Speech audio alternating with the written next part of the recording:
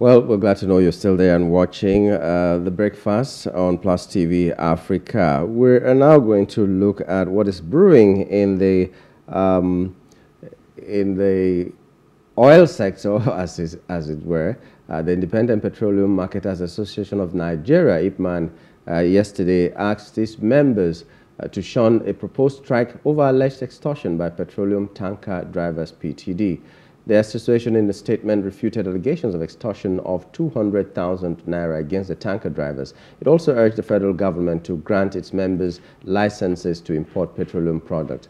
Uh, right now, uh, we are being joined by our guest uh, to uh, talk to us on that. And our guest is Chief Ukadike Chinedu, the IPMAN National Public Relations Officer. Good morning and welcome to the program, uh, Chief Chinedu. Yeah, good morning, my brother, and good morning, Nigeria. Okay, uh, well, um, the topic is that uh, there's this allegation against your organization or your association that there's been um, extortions from uh, on the tanker drivers, and you're refuting that. What even is the reason for the smoke that you're saying there is no fire?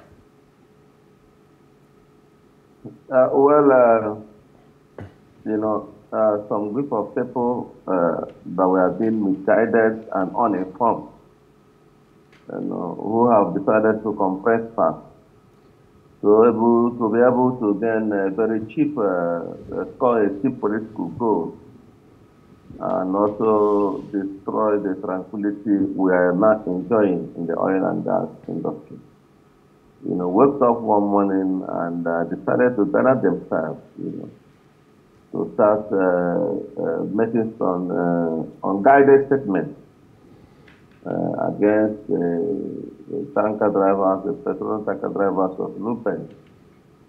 And as the spokesman of the organization uh, was also informed of that uh, gathering, you know, and uh, quickly I informed the National Executive Council led by Alhaji Ahmed uh, who uh, called our members in the north because the people allege that they are marketers from the north.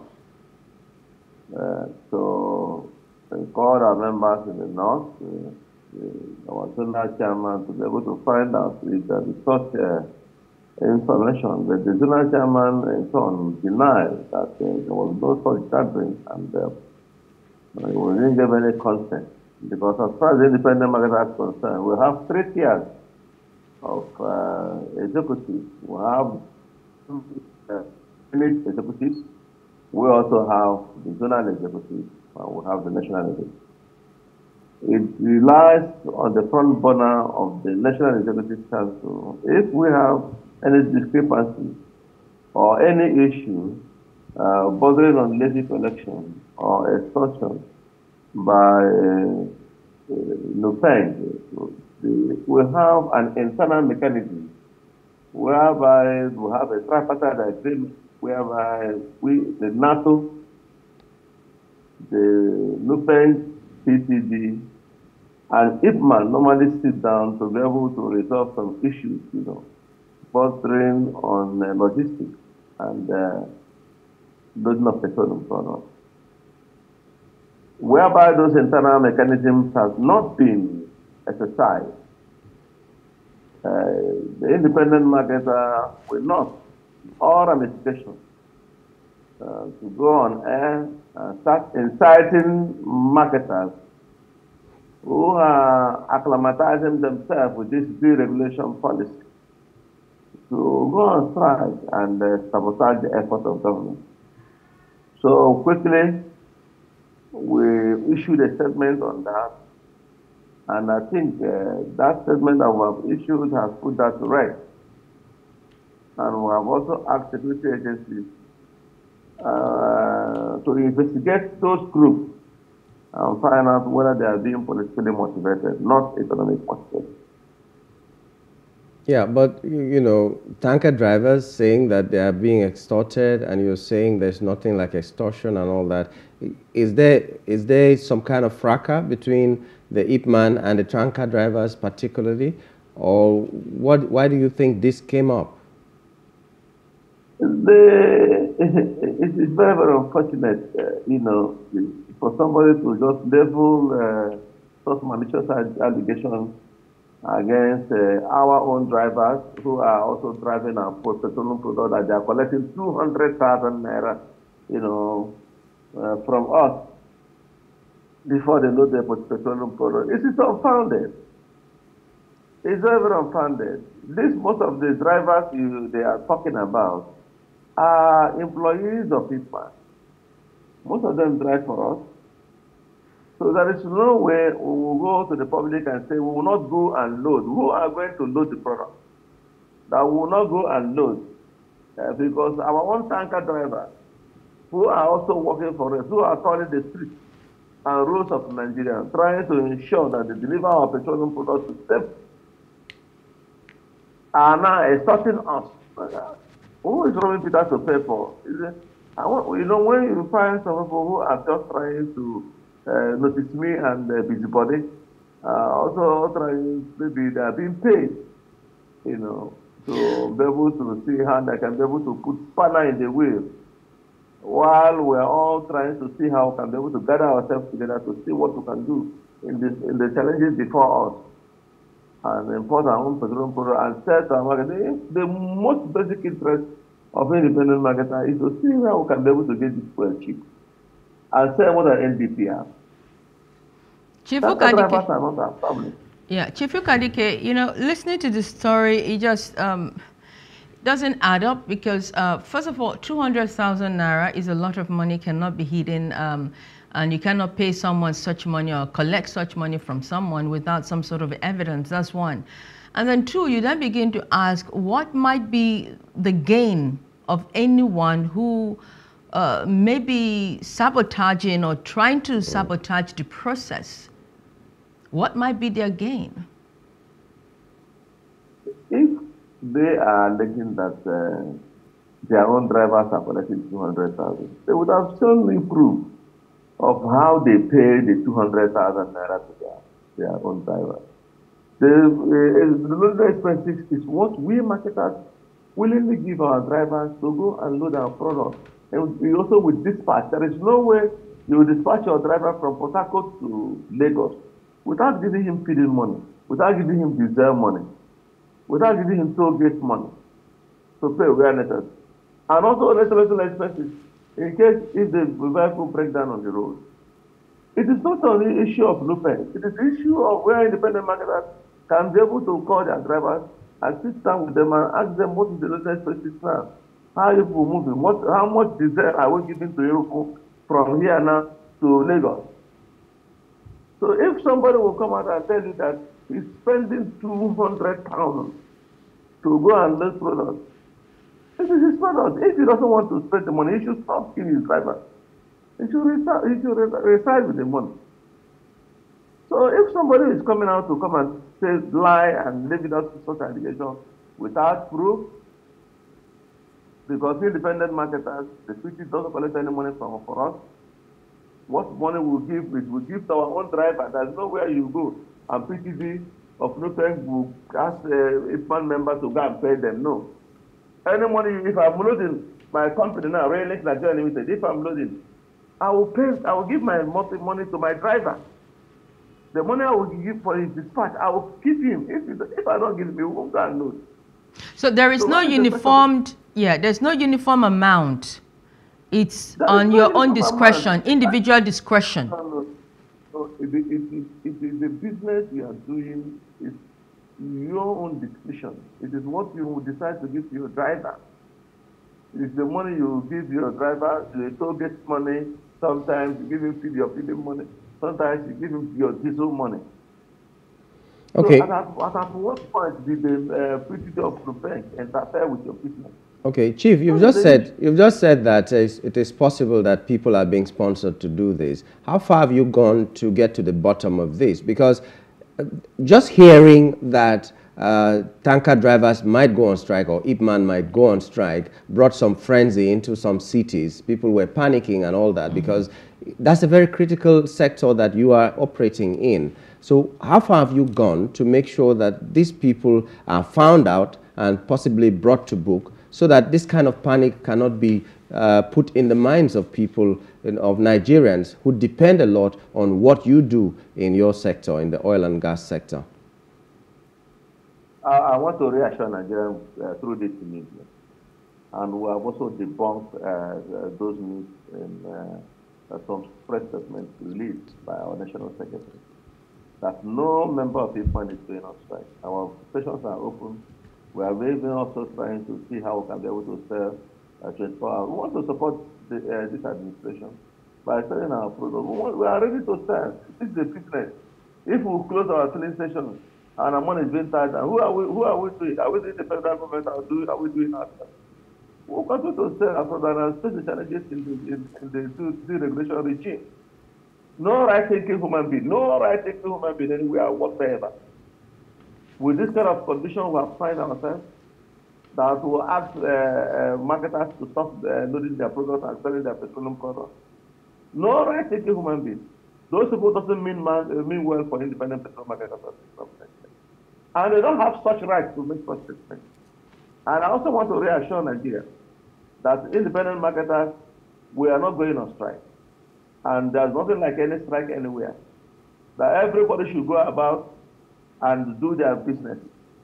Those who are trying to uh, score political points or who are trying to sabotage this uh, deregulation process, please, should please be warned. And security agencies should go after them to find out and let them bring out their, the receipt in which they use in paying their drivers 200,000 to load one single truck of product. I want to uh, uh, bet you that the observed petroleum product is consigned now. You can't even get up to 200,000 when you finish selling your petroleum product. So why will you pay 200,000? I don't know who is giving them such figures because those those uh, group of people that are gathered there, most of them are not marketers. Mm. And they are not the members of IFMAN. They are not the executive of IFMAN. So coming to the public to go and brandwish themselves and uh, find how to go and sabotage the, uh, the economy of this country is what the, the DSS and the police should watch out. Okay. For such uh, unguided actions and uh, flimsy excuses that uh, petrol taxi drivers are committed 200,000 naira. Ah, it's unimaginable. Okay. Uh, well, uh, let's digress a little bit, but it's still in your in your uh, something on your table. We'd like to have updates all the time when we have the opportunity to talk with you because we're concerned about when uh, petrol will the cost of petrol will likely come down, if ever it will come down, and that will depend also on your ability to also import the product so that so many people importing the product at the same time maybe will bring the cost down a little bit. So how far so far into the uh, issue of um, importing fuel by your members? Are you getting closer? Right now, we only know of the five or six people who were given licenses. Are more people collecting licenses, or are there challenges that you're facing in getting the licenses to import? Yeah, the most important, the mission and vision of a right-thinking organization such as IFMAN is to find a way to import their petroleum products themselves and be able to compete with NDPR and, and Dangote and some other people the federal government has issued licenses. Mm. Like I told you, after our uh, uh, executive council meeting last month, the National Executive Council mandated me and some of the delegates to travel to Houston the United States of America uh, to be able to discuss with our financiers on the best way to be able to export our petroleum products and be able to sell. And I just returned from the trip and uh, as quickly as possible, we will reconvene the next.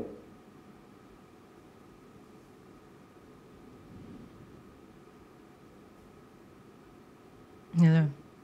We will reconvene the next uh, to be able to give them uh, information and uh, pathfinding mission uh, result of what we have done. And also our license is in progress, I think. Uh, by now, by the time I, I, I sit down with them, those that are started with ensuring uh, that the federal government issue license to us, uh, will also brief the next so that we can marry these two. This is what an association is meant for. The, the, the, the premium of our our our being uh, executive, executive of our association is to ensure that we have a seamless distribution of petroleum products at the cheapest level. We don't want the station where monkey they walk, get the chop. That is why we are trying to juggle uh, this issue of importation petroleum products so that we can be able to import and complete. We will not be at the mercy of NDPR anymore since the window has been open. And uh, I also want to let you know that there is sufficient petroleum products uh, that is made available and uh, we independent marketers, as I'm talking to you now, we are loading in all our depots to ensure that petroleum product is distributed around the mix and quality of this country. Yeah, we, we, we know we know there might be fuel. Uh, availability is different from the ability of people to buy, and we're looking for a time when it will come down. But no, that, that, you know, that is, but this is a this is a critical question here. Uh, sir, um, sir, this is a critical question and here. License has not been, the next license has not been issued to us. Okay. Because uh, license has not been issued to us, to be very, very frank to you. Why? And you also, in you also see in our press statement, because there are procedures.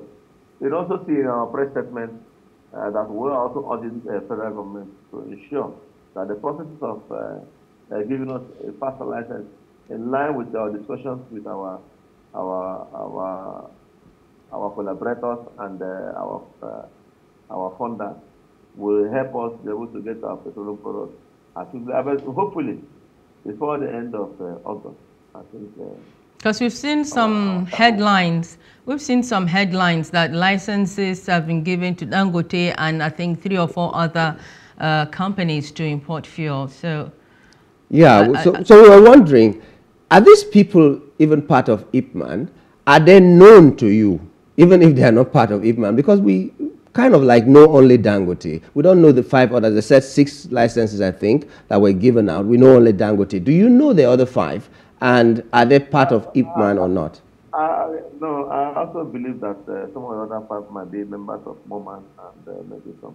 The, the issue of uh, licenses and individual things, it is not hindered as an, as an association, but because of our corporate existence, and our off-taker status in the, in the organization, in the, in the entire system.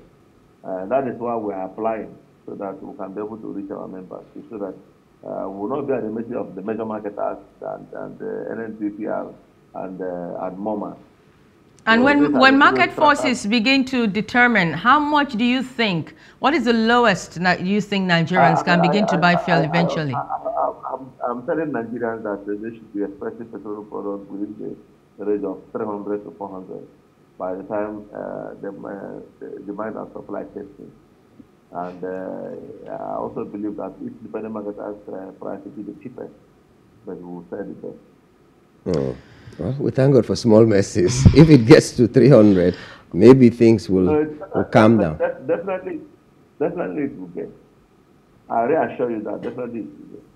We are even praying for less than that, if it's possible, 250, 200, no wala.